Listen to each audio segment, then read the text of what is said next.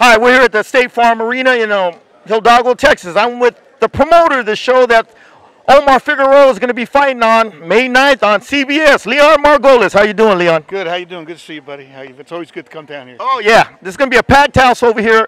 He, they got a lot of great fights. Talk about all the great fights going on and talk about the significance of boxing being back on CBS. Well, listen, it's free TV. Anybody that's got a television set can see it. Yeah. All you need is rabbit ears. It's boxing the old way. Yeah. Roberto Duran, Sugar Ray Leonard, Tommy Hearns, Marvin Hagler.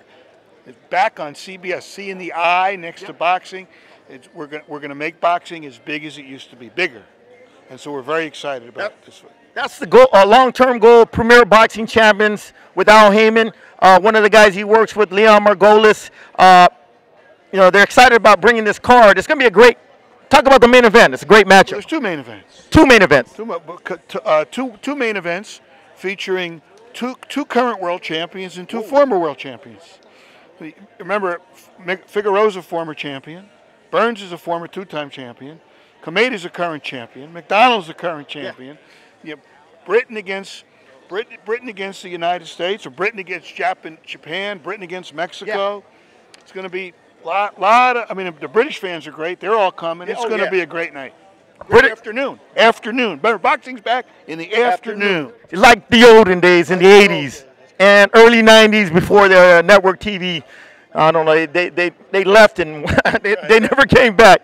But British fans are pound for pound. Uh, Irish, Scottish fans are pound for pound the best fans in boxing. I expect Ricky Burns to have a big following The coming over. Mexican fans are the best fans of boxing. I mean, back over there, Over there. in the other side of the pond. Over here is the Mexican fans are pound for pound the best. But on the other side, where Ricky Burns is a big time ticket seller over there, where he, fifteen thousand is not a big deal. My phone's ringing off the hook. The Brits want to know how to get tickets and where they can find a hotel and where, where how to get to Hidalgo.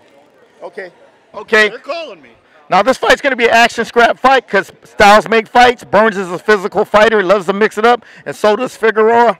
Uh, you know, later on, you know, other episodes I will be breaking down the matchup of both fighters, the strengths and weaknesses, the keys to victories. But Leon, anything else you want to say to our great fans of the Rio Grande Valley? We'll be making some other announcements coming up with the undercard and the other featured bouts. So stay tuned. I'm, I'm sure you'll get to bring it to everybody. Okay. One guy you got to use on the card though, Isaac Torres. He sells a lot of tickets and he can fight. so Okay. let's see what happens on that one. Thank you. Thank you.